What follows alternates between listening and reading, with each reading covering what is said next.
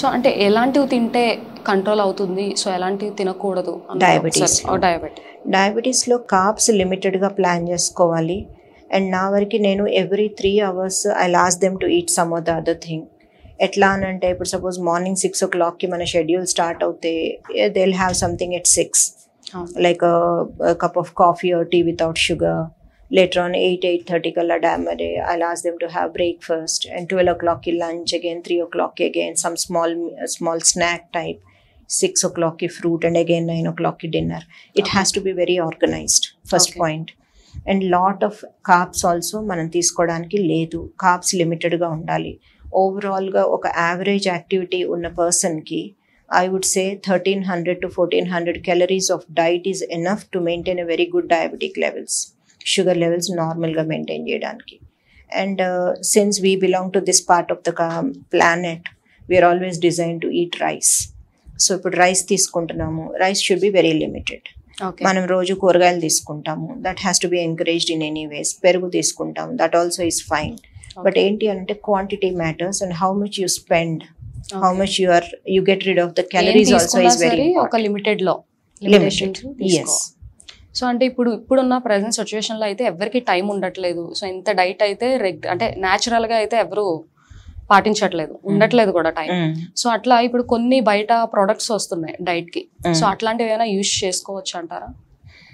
Yeah products వస్తున్నాయి. Yes చాలా వరకు ఇట్లాంటి సీరియల్స్ అట్లా కొన్ని డయాబెటిక్స్ కోసం వాళ్ళు డిజైన్ చేస్తున్నారు. Yes they are very good ఎందుకంటే వాళ్ళు సొంతంగా తయారు చేసుకొని తినడానికి. Time ఉండనప్పుడు yeah you can they can take it But at the same time, I would again stress on the point that time कितना and you have to exercise regularly. Okay. And when diabetes keep prolonged uh, phase low, you have certain complications after 20 years or so మీకు kidneys మీద impact ఉండొచ్చు nervous system మీద impact ఉండొచ్చు eyes మీద impact ఉండొచ్చు.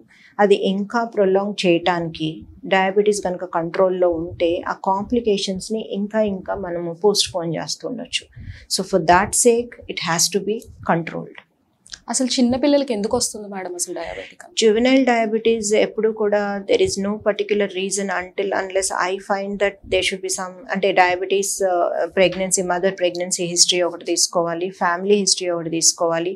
ఎర్లీగా trigger అయ్యి actually ప్యాంక్రియా ప్యాంక్రియాస్లో ఐలెట్ సెల్స్ ఏవైతే అంత డ్యామేజ్ అవ్వడానికి ఇంకా ఏం particular reasons I find that చిన్నప్పుడు recently I had a case of diabetes. Okay actually mother father mother father మధ్యలో చాలా స్ట్రెస్ ఉండింది. I mean there was a complete I mean it it's not a compatible marriage I would say అలాంటప్పుడు child is almost ఎప్పుడు కూడా ఒక భయంలో ఉండడము. Okay constant stress pregnancy టైంలో so mother this was not in pregnancy actually నేను చెప్పిన case this was after the delivery after. Childhood అనమాట it was a constant stress because there was a constant tiff between the parents. So ఆ constant fear ఏదైతే ఉండిందో that actually let to diabetes okay and at the same time కొన్ని pregnancy histories అయితే definitely important family history adds and juvenile diabetes cases కూడా పెరగడానికి reason that is also one of the reason okay so హలోపతికి మన హోమియోపతికి differences ఏంటి madam as I said you always have the same set of medicines for same set of complaints okay suppose మీకు Covid వచ్చింది కోవిడ్లో as everybody knows ఆ prescription అందరూ follow అయిపోయారు. అవును. ఒక ఫ్యామిలీలో ఒక మెంబర్ తెచ్చుకుంటే everybody followed the same but మేము ఫ్యామిలీలో ఫైవ్ మెంబర్స్ ఉంటే we treated all the five cases with different medicine డిఫరెంట్గా ఉంటాయి. అవును. First initially we tried with మేము ప్రివెంటివ్ చాలా ఇచ్చాము. యాజ్ యు నో మేము ప్రివెంటివ్స్ చాలా mm, ఇచ్చాము. బట్ ప్రివెంటివ్ ఇచ్చినా కూడా చాలా కేసెస్ అవ్వలేదు. అండ్ ఫైనలీ ఎవరైతే ఇట్లా అందరూ ఒకవేళ ఎఫెక్ట్ అయి ఉంటే we have chosen different different remedies never a single remedy work ఇక్కడ కూడా యాక్చువల్లీ చాలా మంది homeopaths through the country they have worked on that basis also that ఈ common set of medicines huge క్రౌడ్కి use అయ్యేటట్టుగా చాలా మంది వర్క్ చేశారు. And it was successful to certain extent because the same fear the same scenario the same virus the same impact ఇట్లా కొన్ని generalized symptoms తీసుకొని they worked okay it really did very good job but chronic cases ఎప్పుడైతే చాలా worst cases అంటే న్యూమోనియాలో న్యూమోనియాలో ఎప్పుడైతే చాలా worst అంటే final stages అట్లా వచ్చినప్పుడు we try different different medicines okay so at the same time psoriasis ఇప్పుడు రెగ్యులర్గా వస్తున్న diseases psoriasis very common nowadays. Yes so ఏంటంటే దాని గురించి మేడం అసలు ఎలా వస్తుంది? హోమియోపతి ఎంతవరకు దీనికి we have plenty of cases of psoriasis, especially homeopathyలో.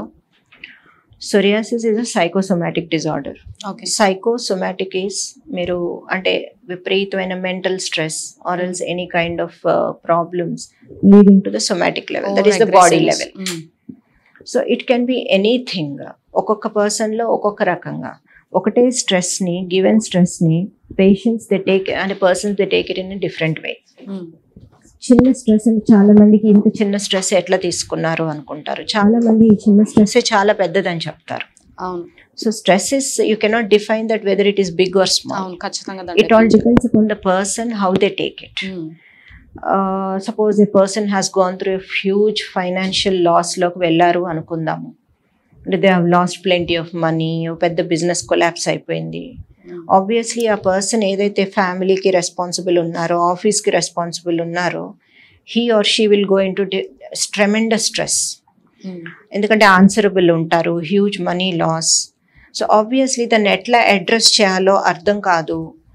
ఆ స్ట్రెస్కి లొంగిపోతారు. ఆబ్వియస్లీ బాడీ స్టార్ట్స్ రియాక్టింగ్ కొద్ది రోజుల్లోనే they will come up with some kind of skin complaint which is known as psoriasis or any many complaints are there one of which is psoriasis సోరియాసిస్లో ఏంటంటే skin actually silvery scaly అవుతుంది. It is a multi అంటే layers లేయర్స్గా వచ్చేస్తూ ఉంటుంది. ఆ psoriasis it start spreading once you are not able to handle the stress and it will spread so fast ఒక్కసారి మనం treatment start చేసిన తర్వాత స్ట్రెస్ ఇలాగే ఉంది. But the person is responding to the treatment okay స్లోగా patches disappear అవుతాయి person comes person will also realize that he is handling the stress in a better way okay ignore చేయటము or this is what it is accepted so will find a solution ఈ type of attitude మెల్లగా develop అవడం మొదలు పెడుతుంది so they will be relaxed చాలా మంది patients చెప్తూ ఉంటారు ఇవాళ స్ట్రెస్ అయితే తెల్లవారు లేచేటప్పటికి వాళ్ళకి కొత్త ప్యాచెస్ నాలుగైదు కనపడతాయి బాడీ మీద.